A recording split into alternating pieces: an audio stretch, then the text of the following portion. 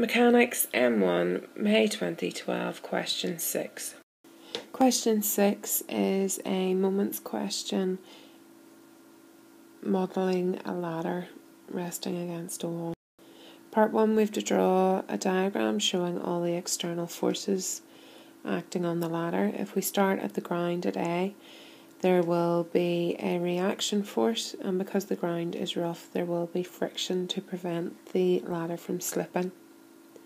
The weight of the ladder 150 newtons, the weight of the man 800 newtons and then at the end B a perpendicular reaction force where the ladder touches the wall.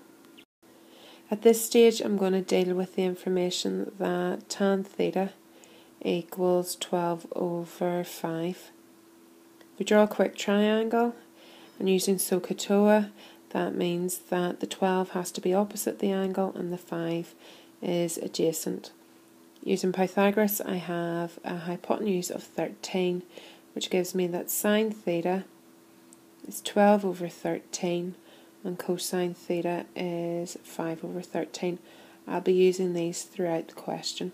An alternative method would be to work out the angle by saying that theta is the inverse tan of 12 over 5, which gives an angle of 67.38 degrees. Part 2, we're taking moments. So the first force we come to is the 150 and the perpendicular distance is adjacent to the angle so I'm going to be using cos. So the moment which is force times perpendicular distance will be 150 times 2 cos theta which gives me 1500 over 13 and that is in a clockwise direction. Next force is the weight of the man, 800. Again, the perpendicular distance is beside the angle, so I'm going to be using cos.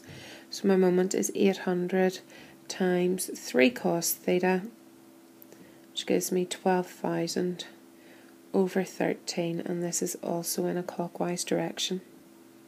Third force is the reaction force. This time using alternate angles, the angle theta is at the top and the perpendicular distance is opposite the angle, so I'm going to be using sine. So b times 4 sine theta gives me 48b over 13 and this will be in an anti-clockwise direction.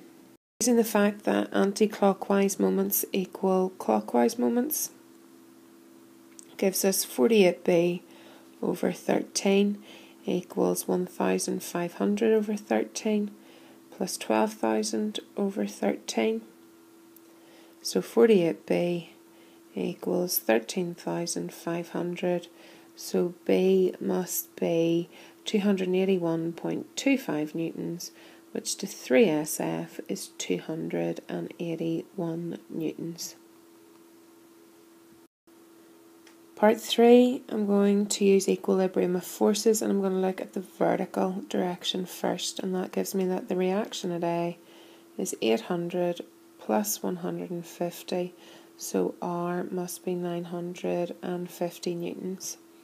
If I then look at the horizontal forces, that tells me that the friction has to equal B, which I've just worked out is 281 newtons. Finally, I'm going to use that friction equals mu r. So 281 has to equal mu times 950.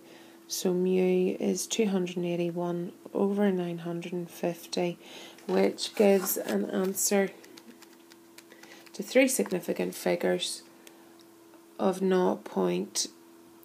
0.296.